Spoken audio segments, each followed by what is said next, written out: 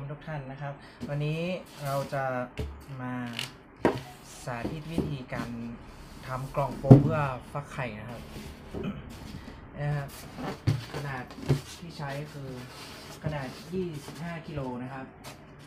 ใช้กล่องโฟมขนาด 25กิโลนะครับเป็นกล่องโฟม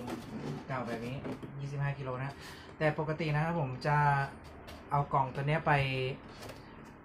อะไรเนี่ยติดเทปก่อน ติดเทปพันให้ทั่วๆเลยนะครับ ทั้งฝากล่องทั้งตัวกล่องนะครับ แต่ใบนี้มาสาธิตนะครับเพราะว่าเทปหมดเนาะวิธีการทำนะครับ ตัวนี้นะครับกล่องโฟมเนี่ยที่ใช้ใบใหญ่เพราะว่าเราต้องการให้อากาศมันหมุนเวียนข้างในนะครับ ถ้าเกิดว่า เราใช้กล่องเล็กอะอากาศมันหมุนเวียนได้น้อย แล้วก็ น้ำที่มันอยู่ที่เราจะใส่เข้าไปข้างในกล่องโฟมอะมันมันมีความอะไรยังไงอะน้ำระดับน้ำมันสูงเนาะถ้าเกิดว่าระดับน้ำมันต่ำมันก็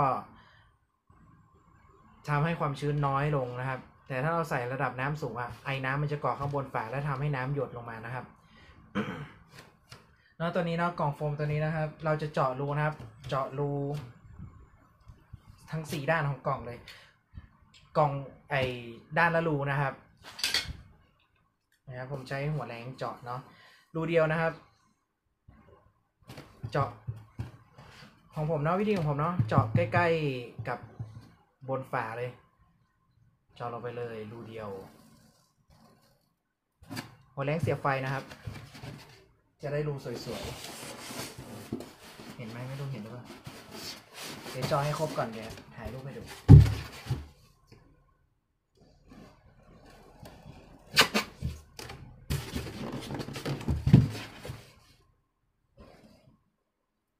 จะเจาะตรงไหนก็ได้นะครับผมเลือกเจาะตรงกลางกล่อง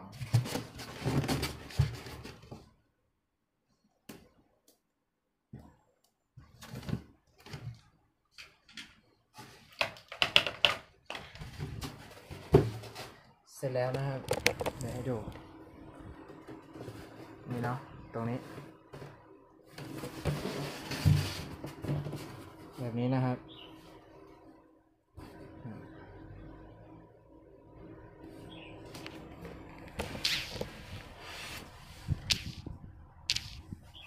จาะเสร็จแล้วนะครับ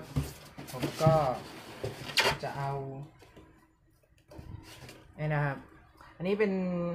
ผ้า spunbond นะครับปกติที่บ้านผมมีอยู่แล้วเพราะว่าที่บ้านผมทำแมสปิดจมูกนะต้องใช้ผ้า spunbond เป็นตัวฟิลเตอร์ตัวกรองนะครับ ไอตัวนี้นะครับ หาได้จากไหนหาได้จากในในแมสปิดจมูกอะของที่มันเป็นสีเขียวเขียวฟ้าฟ้าๆนะครับ ของที่แพทย์เขาใช้ หรือว่าใครไม่มีก็หาผ้าขาวบางก็ได้ครับ เราจะเอาตัวนี้มาปิดรูนะครับ กันแมลงหวี ไม่ต้องตัดอันใหญ่ ตัดแค่พอปิดรูได้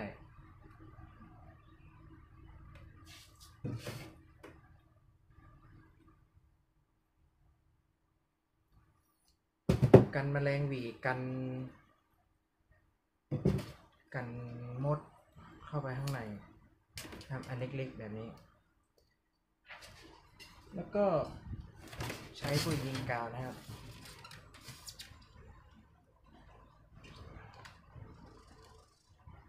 นะครับทา แล้วก็อาอันนี้แปะรีดให้ตึงๆนะครับให้อากาศมันเข้าออกผ่านได้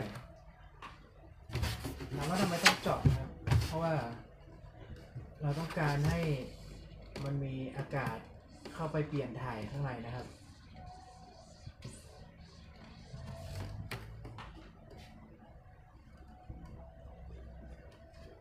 อันนี้สูตรของผมนะ ผมมาแชร์วิธีการให้ดู แต่ของท่านอื่น ฟักยังไงก็ ไม่ทราบเหมือนกันนะครับ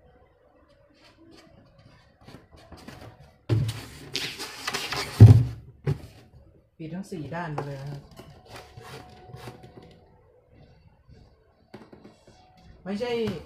ไม่ใช่เอาไปยัดในรูนะ เอามาแปะ เอามาแปะ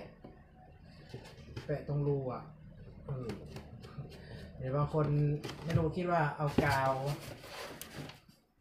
เอากาวไปยัดในรู แบบนี้แบบนี้แบบนี้เห็นไหม เนี่ยครับเนี่ยทากาวรอบๆ แล้วก็รูจะอยู่ตรงกลางนะครับนี่นี่นะครับ เสร็จแล้ว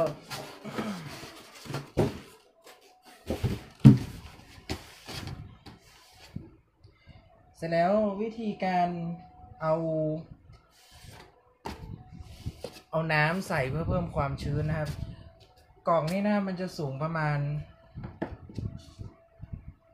ถ้าจะวัดจากข้างในเนาะประมาณ 25 เซนครึ่งนะ25 เซนครึ่ง เราจะใส่น้ำไปประมาณสัก 2 เซนเนาะใส่น้ำไปประมาณสัก 2 เซนแล้วก็ หาก้อนหินมาลองนะครับ หาก้อนหินมาลองแล้วก็เอาตะแกรงวางข้างในนะครับ เดี๋ยวพาไปดูครับ อนนี้นะเราอยู่ตรงกล่องนะครับกล่องที่เราทำไว้เมื่อกี้นะครับ เราเจาะรูแล้วก็ติดแผ่นกันไอ้นี้เข้าไปแล้วนะครับ วิธีคาลิเบรตนะครับนะครับ ใส่น้ำใส่น้ำลงไปเนี้ยประมาณสองเซนนะครับผมใส่ลงไปเซนครึ่ง แล้วก็เอา ตอนนี้เราฟักไข่งูบอลอยู่ครับอะเอาครับนะครับใส่อิฐลงไปนะครับ ไม่ต้องให้น้ำท่วมอิฐนะครับ อิฐมอนแดงๆนะครับ ใส่ใส่ก้อนอิฐลงไปแล้วก็เอาตะแกรงนี่ยซื้อจากร้าน 20 บาท อันละ39เนาะเอาตะแกรงรองไว้นะครับ แล้วก็คาลิเบตอุณหภูมิไว้นะครับอยู่ที่อ่า เราคาลิเบตโดยการเปิดฝาทิ้งไว้ก่อนนะครับ เพราะว่าหาตรงจุดที่มันเย็นที่สุดของบ้านนะครับ เปิดฝาทิ้งไว้ก่อนแล้วก็เอาตัววัดอุณหภูมิวัดวัดลงไป ถ้ายากให้แน่นอนนะครับ ใช้ตัวนี้ดีกว่าเนาะอุณหภูมิแน่นอนกว่าที่เป็นดิจิตอลนะครับ ผมพังไปแล้วสองอันนะเปิดฝาแล้วอันนี้ใส่ลงไปเลยนะครับ ความชื้นไม่ต้องกลัวนะครับ ความชื้นสัมพัทธ์ในกล่องนี่หนึ่งร้อยเปอร์เซ็นอยู่แล้วนะครับเก้าสิบเก้าเปอร์เซ็นครับ ถ้าเอาไอตัวที่เป็นดิจิตอลเป็นหางหนูใส่ลงไปมันก็จะได้เก้าสิบเก้าเปอร์เซ็นแต่ความชื้นสัมพัทธ์ในกล่องเนี่ยร้อยเปอร์เซ็นอยู่แล้วครับ สังเกตดูจากเนี่ยนะครับ กล่องไข่งูบอลนะครับ มีไอน้ำมีหยดน้ำนะครับ แสดงว่าความชื้นสูงครับ ไม่ต้องกลัวว่าความชื้นจะจะไม่เพียงพอนะครับ บางคน บอกว่าฟักงูยังไงความชื้นไม่เพียงพอความชื้นลดลงความชื้นแห้ง มันเป็นไปไม่ได้นะที่มันจะแห้ง เพราะว่าเราใส่น้ำไว้ในนี้แล้ว นะครับ เราเปิดปิดเออเราเปิดฝาแล้วก็คาลิเบตทิ้งไว้สองวันนะครับ ว่าอุณหภูมิในเนี้ยมันจะเท่าไหร่ แล้วก็ลองปิดฝาอีกสองวัน บันทึกอุณหภูมิมันนะครับว่า อุณหภูมิมัน มันขึ้นเท่าไหร่ลงเท่าไหร่ หรือว่าน่าจะให้แน่ ๆ มาดูทุก ๆ ชั่วโมงเลยครับ กลางคืนอุณหภูมิเท่าไหร่กลางวันอุณหภูมิเท่าไหร่ ระหว่างเปิดฝากับปิดฝานะครับ ทำอย่างนี้นะครับ ถ้าสมมติว่าฟักไข่งูบอลนะครับ ฟักไข่งูบอลก็ที่ประมาณสามสิบสามสิบเอ็ดองศานะครับ บ้านผมก็นี่แหละ ประมาณนี้แหละเนี่ยตรงนี้ในกล่องเนี้ยประมาณสามสิบสามสิบเอ็ดองศาผมไม่ได้ใส่อะไรลงไปเลยนะครับสำหรับงูบอลเนี่ยฟักไปอย่างนี้เลยเนี่ย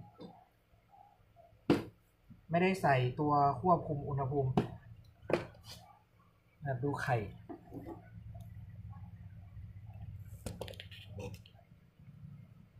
ทุกวันก็จะมาเปิดฝาแล้วก็สะบัดน้ำทิ้งนะครับ กันหยดน้ำมันเยอะ เพราะว่าในตัวตัวกล่องฟักไข่เนี่ยมันเราวัสดุฟักไข่เนี่ยเราต้องผสมน้ำอยู่แล้วเนาะให้มันมีความชื้นนะครับเราต้องผสมน้ำอยู่แล้วเพราะว่าในในกล่องเนี่ยมันชื้นข้างนอกมันก็ชื้นนะครับมีทำให้อ่ายังไงมีเหงื่ออยู่ในนี้เนาะสำหรับกล่องฟักนะครับกล่องฟักก็เจาะรูเนาะนี่เจาะรู จะรู้ทั้งสี่ด้านเลย ถ้าให้ดีก็เอาไอ้นั่นนะมาปิดเหมือนผมเลยเนาะแต่อันนี้ผมไม่ได้ปิดเพราะว่าในบ้านมันไม่มีแมงวีนะครับเนาะสำหรับคนที่ไม่ได้ฟักงูไว้ในห้องแอร์เหมือนบ้านผมเนาะก็ก็ทำวิธีนี้นะครับ แต่แต่ถ้าสมมุติว่าเป็นงูคอนนะครับสำหรับเอ่อถ้าเป็นงูคอนเนาะผมจะใช้ตัวช่วยนะครับสำหรับที่บ้านผมอากาศร้อนเนาะผมจะใช้ตัวนี้ช่วย เป็นตัวทำความเย็นนะครับจากแผ่นเพียวเทียเนาะนะครับแล้วก็ต่อตัวตัด ถ้าเกิดว่าอุณหภูมิมันเกินที่เราตั้งไว้ตัวทำความเย็นก็จะทำความเย็นนะครับสำหรับงูคอนก็ตั้งไว้อยู่ที่ประมาณอ่า27 องศานะครับเนาะ82 องศาฟาเรนไฮต์นะครับ เราตั้งไว้อยู่ที่ 27 องศา แต่ตอนนี้มันเกินไปอยู่ที่ 28.3 องศา ไม่เป็นไรนะครับ ถ้ามันไม่เกิน 30 เนาะอากาศบ้านเรามันร้อนนะครับ แต่สำหรับคนที่ฟักไว้ในห้องแอร์นะครับ สามารถ วางไว้เฉยๆก็เลยก็ได้เนาะ แต่ในกล่องกล่องวัสดุฟักอะความชื้นจะต้องเพียงพอนะครับ ถ้าเกิดว่าเราไว้ในห้องแอร์แล้วไม่ใส่กล่องโฟมแบบเนี้ย ความชื้นก็จะหายนะครับ โอเคครับสำหรับคลิปนี้นะครับ ก็หวังว่าจะมีประโยชน์นะครับสำหรับผู้ที่หัดเพาะงูนะครับเปิดให้ดูข้างในหน่อยนะครับ เป็นแบบนี้แล้วทำเหมือนกันเลยทำเหมือนกับงูงูบอลเลยนะครับแต่อุณหภูมิต่างกันนะครับ งูบอลกับงูคอน ก็ลองนำเอาไปใช้ดูนะครับ ไม่รู้ว่ามันมันจะใช้ได้ดีกับใครบ้าง แต่สำหรับผมวิธีนี้ก็โอเคที่สุดละนะครับ เดี๋ยววันหน้าถ้าหาวิธีทำตู้ฟักจากตู้แช่ได้นะครับ เดี๋ยวจะเอามาลงคลิปให้ดูกันครับ ขอบคุณครับ